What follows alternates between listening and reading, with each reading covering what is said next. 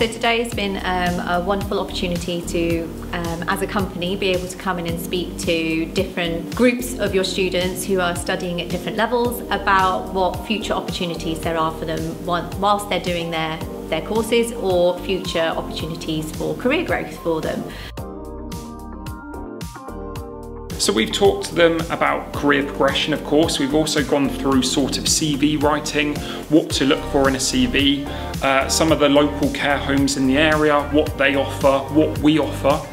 uh, and the progression. And we've spoken to them about some of our own staff, a recent domestic assistant who's qualified to be an activities person, even myself working as a care assistant, progressing to a care manager, and moving from care management to HR. So, yeah, just talking to them about progression and really sort of showing that it's an open book. It doesn't just start and finish with one job.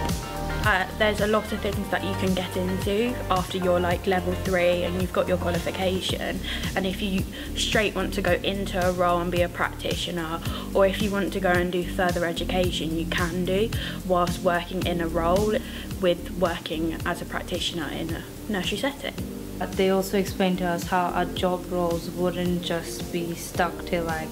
being in a nursery setting or just being in like a preschool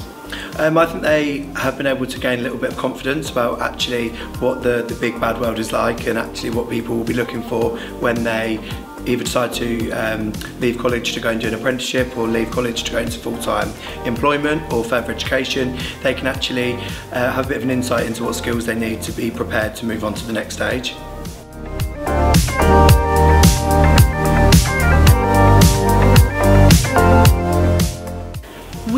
tried to bring along real life experience as well as um, showing them some theoretical employability skills and behaviours that we're looking for as an employer. We also tried to show them real life experiences and examples of what it means, for example, to um, treat someone with dignity, somebody with respect, and we think the students really learnt from the real life examples. I think the overriding message has been two things really, the consistency between the employers of what they're looking for and also the range of opportunities that exist within that sector, that it's not as narrow as perhaps they thought it was before they started the course. That like when they would speak to us as students, they were like, and I used to be in the same position as you are right now. so they would tell us like yeah this is this was where we started as well and like so this is how we built up and this is how like we've made it.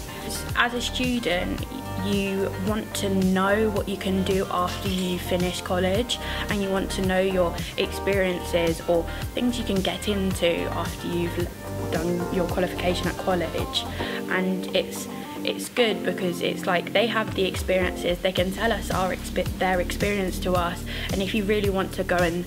do what they want to do you can